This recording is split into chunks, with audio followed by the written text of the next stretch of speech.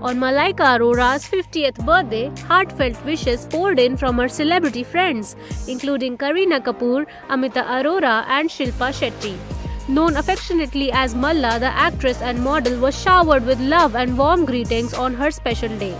As she marks this milestone, these birthday wishes underscore the strong bonds she shares with her peers in the entertainment industry.